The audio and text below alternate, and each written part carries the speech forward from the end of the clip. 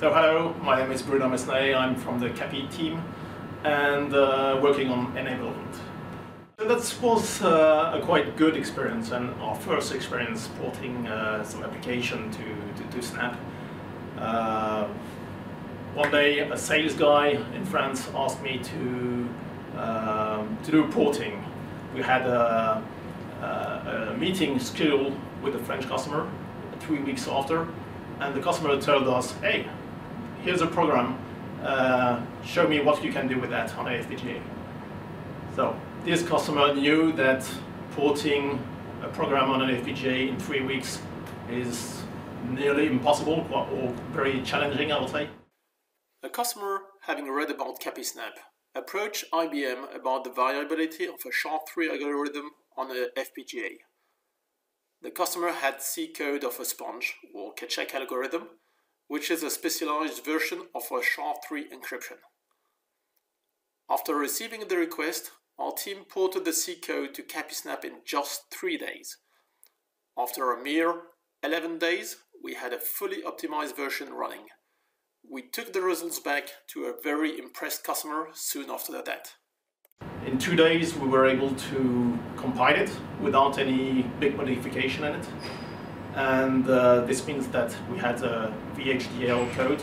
VHDL is the assembler language for FPGA. Then we took a week to optimize, tune things, parameters, to get more and more performance. We show here an excerpt of the Keccak algorithm in C.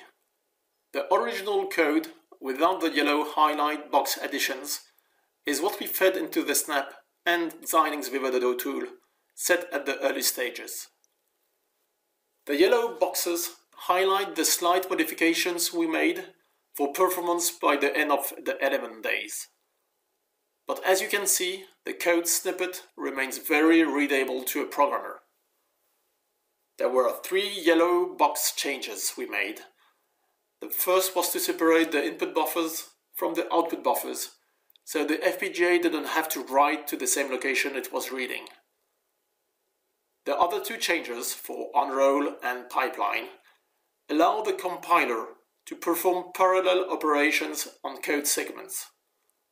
With unroll, we make parallel instances of a code segment whose result don't affect the next iteration, which is a common case on loops.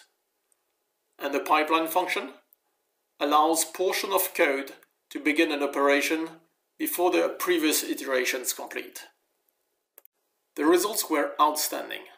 In less than two weeks, with minimal changes to the original source code, we had the CapiSnap implementation of the Keccak algorithm running 35 times faster than the processor version.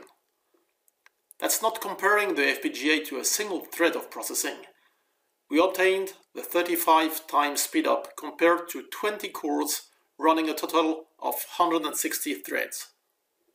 This performance improvement was consistent across all sets of parameters we fed into the engines. You'll note that the chart shows two sets of FPGA results, a 16 slice version and a 32 slice version. This is an indication of the number of parallel pipelines we were able to fit into the FPGA. The 16 slide version takes up less space on the FPGA and was quite simple to implement. Getting the 32 slice version to place, route and time was a little more challenging. Of course, if we used a larger FPGA, we could fit even more parallel instances, leading to even higher performance.